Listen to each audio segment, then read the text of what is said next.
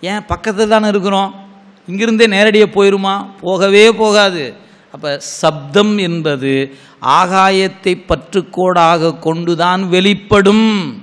அப்போ ஆகாயம் என்பது தூலப்பொருளாக தெரிந்தாலும் அதன் சூக்குமமாக இருப்பது ஓசை. எனவே ஓசை அறிவதற்கு ஆகாயம் வேண்டும். அதுபோல் உருவத்தை அறிவதற்கு நெருப்பு வேண்டும். அதான் நெருப்பு வச்சு தான் உருவத்தை அறிகிறோம். அந்த நெருப்புக்கு அடிப்படையாக இருப்பது எது? அப்படின்னு கேட்டால் ஒளி. அதுபோல் காற்று. காற்றுக்கு அடிப்படை ஊறு. அதாங்க தன்மாத்திரைன்னு பேர்.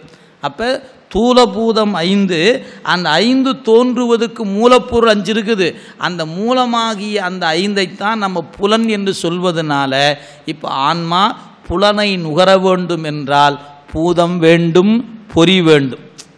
பொறி இல்லாமல் பூதத்தின் துணை இல்லாமல் எதை நுகர முடியாது? புலனை நுகர முடியாது. இப்போ ஆன்மா ஓசை என்கிற ஒன்றை அறியணும். ஓசை என்பது புலன். அப்போ ஓசையை அறிவதற்கு என்ன தேவை இருக்குதுங்கன்னா உயிரானது செவி என்கின்ற இந்த ஞானேந்திரியத்தை பற்றுக்கோடாக கொண்டு அதாவது செவியின் வழியாக ஆகாயம் என்ற பூதத்தை பற்றுக்கோடாக கொண்டு ஓசை என்ற ஒன்றை அறியும். இப்படி அஞ்சுக்கும் எழுதிக்கணும். காதுக்கு எதுவோ அது மாதிரியே? ஏனைய நாளுக்கும் அதே மாதிரி பொருத்தணும். எது? இப்போ காது என்பது பொறி. அதனால் பொறி முதல்ல. இந்த பொறி அறிவதற்கு எப்படி அறியும்? உயிர் என்கிற ஆன்மா பொறியை இடமாக கொண்டு பொறியின் வழியாக. எதை கொ- அறியுது? ஓசை அறியும். செவி ஓசை அறியும்னா என்ன வேணும் இடையில? பூதம் வேண்டும். எனவே ஆன்மா செவியின் வழியாக பூதத்தை பற்றுக்கோடாக கொண்டு எ- புலனை அறியும். புலன் எதுனா அந்தந்த செவிக்கு அதது கருவிக்குரிய புலன். எது? காது உருவத்தை பார்க்காது. மூக்கு ஓசையை கேட்காது. ஏன் அது அதுக்குன்னு ஒன்று ஒன்று தான் செய்யும். இந்த அஞ்சும் ஒன்றின் வேலையை இன்னொன்று செய்யாது. நீங்கள் செய்யன்னு நினச்சிடக்கூடாது. ஏன்? அப்படிலாம் நினச்சவங்கலாம் இருக்கிறாங்க. நீங்கள் என்னங்க அப்படிலாம் நினைக்கிறாங்களான்னு. தத்துவ ஆராய்ச்சியில் அஞ்சு கருவி தான் ஆன்மான்னு சொல்கிற கூட்டம் இருக்குது அவங்க தான் இந்திரிய ஆன்மவாதின்னு பேர். இந்திரியமே அறியும். ஆன்மாங்கிற ஒரு பொருளே இல்லை. நீங்கள் ஏங்க இந்த ஆன்மா ஆன்மா ஆன்மான்னு சொல்லிட்டு கிடக்குறீங்க? ஆன்மாவே கிடையாதுங்க. அஞ்சு கருவி இதுதான் அறிகிற கருவி.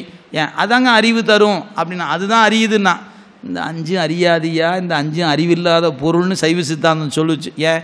கண்ணு காது மூக்கு அஞ்சும் இருக்குது. தூங்கும்போது எங்கே போச்சு?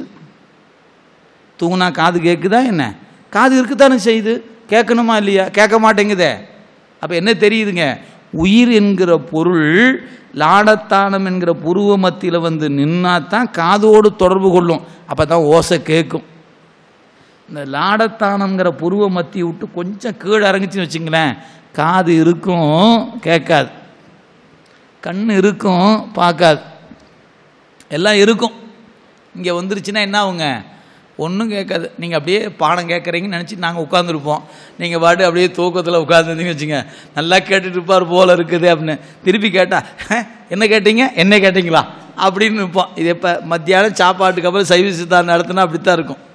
நிறைய பேர் அப்படியே நெட்டையில் உட்காந்துருக்க மாதிரி அப்படியே உட்காந்துருப்பாங்க என்ன பண்ண நாங்களாம் சொல்லித்தான் ஆகணும். அவங்க நெட்டையில் உட்காந்துருக்கிறாங்க நாம் சொல்லாமல் இருக்க முடியாது இல்லையா? இது உயிரினுடைய அனுபவங்க. எனவே செவி என்கிற கருவிக்கு அதுக்கு பூதம் வேண்டும். பூதத்தை பற்றுக்கோடாக கொண்டு தான் புலனை அறியும். அப்போ உயிர் என்கிற பொருளுக்கு காண்பதற்கு ஒரு கருவி வேணும் கேட்பதற்கு ஒரு கருவி வேணும் சுவைப்பதற்கு ஒரு கருவி வேணும் நுகர்வதற்கு ஒரு கருவி வேணும். இப்படி அஞ்சு கருவியை இறைவன் கொடுத்த கொடைங்க. நீங்கள் அவன் அந்த கருவியை கொடுக்கலைன்னா நீங்கள் என்ன பண்ண முடியாது பார்க்க முடியாது கேட்க முடியாது சுவைக்க முடியாது ரசிக்க முடியாது. ஆஹா இன்னைக்கு பௌர்ணமி எப்படி இருக்கு பாரு.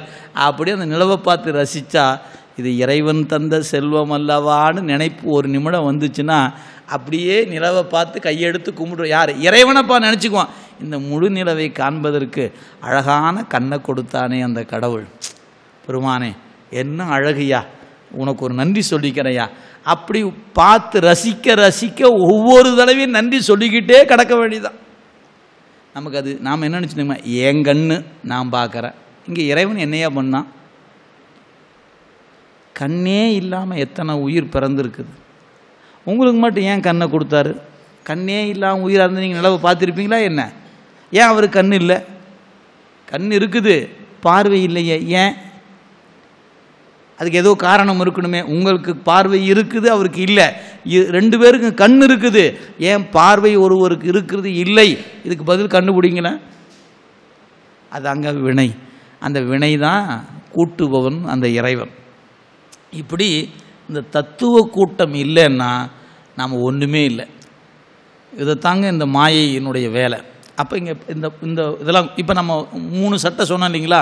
முதல்ல மாயை முதல் சட்டை அப்புறம் அந்த புருடன் ரெண்டாவது சட்டை நீங்கள் விளங்கி கொள்வதற்காக மூலப்பிரகதியை மூணாவது சட்டைன்னு நினச்சிக்கலாம். மூணாவது சட்டை அதல்ல. மூன்று குணம் கூடியது தான் மூணாவது சட்டை. அதுக்கு பேர் குணசரீரம் என்று பெயர். மூணாவது சட்டை. நாலாவது சட்டை எது தெரியுங்களா? புரியட்ட காயம்னு பேர்.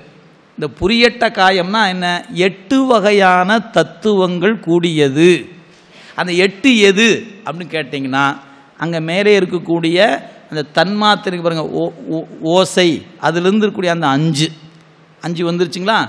எஞ்சிய மூணு எதுன்னு கேட்டால் இங்கே இருக்கக்கூடிய மனம் அந்த அகங்காரம் அந்த புத்தி. ஆக புத்தி அகங்காரம் மனம் இந்த தன்மாத்திரை அஞ்சு. இந்த எட்டு சேர்ந்தது தான் புரியட்ட காயம். இந்த புரியட்ட காயத்துக்கு என்ன பேர் தெரியுங்களா? சூக்கும தேகம்னு பேர். இப்போ நமக்கு நாலு சட்டை ஆகிப்போச்சு முதல் சட்டை மாயை இரண்டாவது சட்டை புருடன் மூணாவது சட்டை குணம் நாலாவது சட்டை எட்டு தத்துவம் கூடிய உடம்பு. இந்த நாலாவது சட்டைக்கு பிறகு அஞ்சாவது சட்டை கொடுத்தான் பாருங்க அதில் தான் மனிதன் விலங்கு பறவை தேவர் என்ற வேறுபாடு. இப்போ கூடு விட்டு கூடு போகிறாங்கன்னு சொல்கிறாங்க பாருங்கள் அதெல்லாம் எப்படின்னு கேட்டால் இந்த பரு உடம்பை ஒரு இடத்துல கிடத்தி அவங்க சூக்கும தேகத்தோடு புறப்பட்டு இன்னொரு உடம்புக்குள்ளே புகுவாங்க. வேறு உலகத்துக்கும் போகலாம் இன்னொரு உடம்புக்குள்ளும் புகலாம். அப்படி புகுகின்ற ஆற்றலை பெற்ற நிலை தான் அந்த சூக்கும தேகத்தில் உலாவுவது அந்த நிலை. இன்னும் சொல்லப்போனால் நாம் கனவு காண்பதெல்லாம் சூக்கும தேகத்தில் தான் காண்கிறோம். நமக்கு அந்த அனுபவம் உண்டு. நீங்கள் கனவு காணுவது பருவுடலில் நடக்கக்கூடிய நிகழ்வு அல்ல. அது சூக்கும தேகத்தில் நடக்கக்கூடிய நிகழ்வு. எனவே கனவு கண்ட பிறகு அந்த கனவு விட்டு வெளியே வந்த பிறகு ஏன் சொல்ல முடியாமல் தடுமாறுறோன்னு கேட்டால் கனவு காணும்போது கருவியினுடைய எண்ணிக்கை குறைவு பருவுடலுக்கு வரும்போது எண்ணிக்கை அதிகமாக இருக்குது. கருவியினுடைய எண்ணிக்கை குறைஞ்சதுனால சொல்ல தெரியாமல் நிற்கிறோம் இன்னைக்கு ஒரு கனவு வந்துச்சு. எங்கேயோ நான் போனேன் அங்கே உன்னை பார்த்தேன். அது எந்த இடம்? அது தெரியல. உன்னை பார்த்தேன் அவ்வளோதான் தெரியுது. முன்னையும் தெரியல பின்னையும் தெரியல. ஒரு பாட்டு மட்டும்தான் சொல்ல தெரியுது. யாரோ வந்தாங்க கதவு தட்டினாங்கன்னு தெரிஞ்சுது. விருக்குன்னு எஞ்சி பார்த்தா தூங்கிட்டு இருக்கிறனுங்க. அடடா கனவா அது. அப்படி சில நேரங்களில் கனவு வந்தோம் ஓங்கி யாரும் நம்ம கத்தியில் குத்துற மாதிரி. வீலும் சத்தம் போட்டிருப்பான். பக்கத்தில் இவங்க வந்து ஏன் சத்தம் போடுறேன்னு? ஐயோ எனக்கு ஒன்றும் ஆகலையா? ஒன்றும் ஆகலையாம்மா. அங்கே ஒன்றும் ஆகலை. சொல்லு என்னாச்சு? கத்தியில் குத்துன மாதிரியே கனவுங்க. அவ குத்துனே பரு உடம்புல சத்தம் போட்டோமா இல்லையா? இதெல்லாம் சூக்கும தேகத்தினுடைய நிகழ்வு. நம்ம சைவ சித்தாந்தம் எவ்வளவு நுண்மையாக ஆராய்ந்திருக்கிறார்கள் நீங்கள் எண்ணி பார்க்கணும். நீங்கள் நம்மளாம் இன்றைக்கி சும்மா அந்த தூல நிலையில் பார்க்கக்கூடிய இந்த விஞ்ஞான உலகத்தை வச்சுக்கிட்டே ஆளாளுக்கு ஏதோ சொல்லி கிடக்கிறாங்களே. நம் மெய்ஞானிகள் இந்த உடம்பை கூறு கூறாக கூறு கூறாக நுணுகி நுணுகி நுணுகி நுணுகி ஆய்ந்து எல்லாத்தையும் சொல்லி போட்டேன்னு நம்ம சொன்னாங்க. இத்தனையும் நீ அல்ல. முப்பத்தாறு தத்துவம் நாம் அல்ல. இது இறைவன் கொடுத்த கொடை. நம்மகிட்ட சேர்த்தி இருக்கிறான். எதுக்காக? இந்த ஆணவ மதத்தை நீக்கிறதுக்காக அவன் கூட்டின கூட்டத்தில் தாங்க இதெல்லாம் சேர்ந்துருக்குது. இப்போ இது ஏன் சேர்த்துனான் தெரியுங்களா? இது இதன் இந்த பிரிக்க முடியாமல் கிடக்குதே. இதை பிரிக்கிறதுக்காக இது பிரிஞ்சிருச்சுன்னா இதை என்னை கூட்டின என்ன பண்ணிடுவான்? மொத்தமாக கழட்டி விட்டுருவான். இது எது போலன்னு கேட்டால் இந்த கட்டடம் கட்டுறதுக்கு முன்னாடி இந்த செங்கல்லாம் வச்சு கட்டி மு- முதல்ல என்ன பண்ணுவாங்க? பில்லர் போடுவாங்க. பில்லர் போடும்போதே நீங்கள் பார்த்தீங்கன்னா தெரியும். கீழிருந்து தோண்டி நாலு பக்கம் அந்த சென்ட்ரிங் சீட்டை வச்சு அதுக்கு முன்னாடி என்ன கம்பி எடுத்து தனித்தனியாக கட்டி கம்பியை கொண்டாந்து நிறுத்தி அதுக்கப்புறம் கலவையை போட்டு இந்த சென்ட்ரிங் சீட்டில் கொண்டாந்து போட்டு முடிச்சு அப்படியே பில்லர் ஆறு அடினா ஆறு அடிக்கு போட்டு அது ஒரு பத்து நாள் இருபது நாளுக்கு தண்ணி ஊற்றி வச்சு அந்த பில்லருக்கு நிற்கும் ரெடி ஆயிடுச்சுன்னா என்னவாங்க எதில் இது நின்றுச்சோ அதை கழட்டிடுவாங்க. அடுத்த ஆறு அடிக்கு போவோம். அப்புறம் மேலே போனால் என்ன பண்ணுவான்? கீழே இருந்து எல்லாத்தையும் போட்டு க குச்சியை நிறுத்தி பரப்பு போட்டு அதுக்கு மேலே க பீமுக்குரிய எல்லா ஸ்ட்ரக்சரும் எல்லாத்தையும் பண்ணி முடித்து ரெடிமேட் காங்கிரீட் கொண்டாந்து போட்டு ஊற்றுனா அப்புறம் அது செட் ஆகிடுது செட் ஆன பிறகு எதனால செட் ஆச்சு? அதை பூரா கழட்டி போட்டுருமா இல்லையா? அவ்வளோதானுங்க இந்த ஆன்மா இறைவனோடு செட் ஆகணும். அதுக்காக இதை போட்டான். கூட்டு செட் ஆச்சுன்னா எது செ- எதனால செட் ஆச்சோ அதை கழட்டி விட்டுருவான். அவ்வளோதானுங்க இதுதான் தெய்வ சித்தாந்தம் சொல்லுது. எதை கூட்டுகிறானோ அதை பிரித்துடுவான். ஏன் கூட்டுனான்னு கேட்டால் ஏற்கனவே நம்மகிட்ட ஆகாத கூட்டு ஒன்று இருந்துச்சு. அந்த ஆகாத கூட்டை நீக்கிறதுக்காக ரெண்டு கூட்டை கூட்டுனான். இவன் கொஞ்சம் வலிமையான கூட்டணியில் இருக்கிறான் ஐயா. இவன்கிட்ட ரெண்டு பேர்த்த சேர்த்துனா அவன் கரட்டி விட்டுடுவான். இவன் தனியாக வந்துடுவான் அப்புறம் ஆளாள் காலில் வந்து விழுந்துருவான் ஏன்? இந்த உயிருக்கு எதனோடு சேர்ந்து தெரியாமல் கிடக்குதே அப்படின்னு கருணை கொண்டானுங்க அந்த பெருமான். இப்படித்தான் நீங்கள் இதுதான் அடிப்படை. அப்போ நம்மோடு கூட்டப்படுகிற அனைத்தும் நீக்கப்படும். இப்போ நெல் வயல் இருக்கிறது. அந்த நாற்றாங்கால் இருக்கும்போது பாருங்கள் அப்படியே நிற்கும். அப்புறம் அதை எடுத்து வயலில் ஊன்றுவாங்க. தண்ணீர் நிரம்ப இருக்கும். சே சேறு அப்படின்னா விட அது குழம்பு போல் இருக்கும். மண்ணும் நீரும் பிரிக்க முடியாமல் குழம்பு போல் இருக்குங்க அதில் தான் கொண்டாந்து அந்த நாற்றை நடுவாங்க. அந்த நாற்று நட்ட நாள்லேருந்து தண்ணி இருந்துக்கிட்டே இருக்கணும். எப்போ அறுவடைக்கு தயாராகிறதோ அப்பொழுது எந்த தண்ணியினால் இந்த நெற்பயிர் வளர்ந்ததோ அந்த தண்ணீர் நிறுத்தப்படும். அப்போ தான் அறுவடை பண்ண முடியும். ஆஹா இந்த தண்ணினால தாங்க அது வந்துச்சு இந்த தண்ணினால தான் அது வந்துச்சு. நான் தண்ணியை நிறுத்தலாம் மாட்டேன்னு விட்டா என்ன போகம் விளையாது. அது மாதிரி இந்த உடம்பை கொடுத்தது எதற்காகன்னு கேட்டால் அவனை பற்றி கொள்வதற்காக. பற்றுகிற வரைக்கும் உடம்பு வேணும் பற்றி விட்டால் உடம்புக்கு வேலை இல்லை. கலட்டி போட்டுறணும். டப்பா தூக்கி போடு வேலை முடிஞ்சு போச்சு. ஐயோ இதை விடமாட்டேன். ஐயோ இதை விடமாட்டேன்னு சொன்னால் தேரவே முடியாது. இவ்வளோதான் சைவ சித்தாந்தம். எனவே உடம்பு தேவை. எதுக்கு? இறைவனை பற்றி கொள்வதற்கு உடம்பு தேவையே அன்றி உடம்பிலேயே கிடப்பதற்காக இறைவன் நமக்கு இந்த பிறவியை கொடுக்கவில்லை. நான் முதல்ல சொன்ன இடத்துக்கு வரேனுங்க. ச கடவுள் மறுப்பாளர்கள் உடம்பிலே இருந்து நுகர்வதுதான் இன்பம் என்று சொல்லி உடம்பிலேயே கிட என்று அறிவுறுத்தினார்கள். சமணமும் பௌத்தமும் உடம்பு என்பது நம்முடைய ஞானத்துக்கு தடை. எனவே உடம்பை வாட்டிவிடு. உடம்பிலே இருந்து கிடக்காதே. உடம்பை நீ வாட்டுவது தான் ஞானம் என்று சொன்னார்கள். சைவ சித்தாந்தம் சொல்லிச்சு நீ அவன் சொல்லும்போத உடம்பில் கிடக்கவும் கிடக்க வேண்டாம். அவன் சொல்லும்போத வாட்டமும் வேண்டாம். இதை பக்குவமாக பயன்படுத்தி கடந்து விடு என்று சைவ சித்தாந்தம் சொல்லுகிறது. எனவே இந்த உடம்பு கருவி. உங்கள் கையில் ஒரு கருவி கொடுக்கப்படுதுன்னா உங்கள் அறிவுக்கு ஏற்ப அதை நீங்கள் பயன்படுத்தலாம். அந்த அறிவு நல்லறிவாக இருந்தால் நல்லதுக்கு பயன்படுத்த போகிறோம் அந்த அறிவு தீயறிவாக இருந்தால் தீயதுக்கு பயன்படுது. நீ ஏன் கருவி கொடுத்த? அப்படின்னு கேட்டால் கருவி இப்போ ஒன்றொன்றும் படைப்பின் நோக்கம் எது? அறிவியல் புதுசு புதுசாக கண்டுபிடிச்சி பிடிச்சி பிடிச்சி கொடுக்குது. எதுக்கு கொடுத்துருக்குது?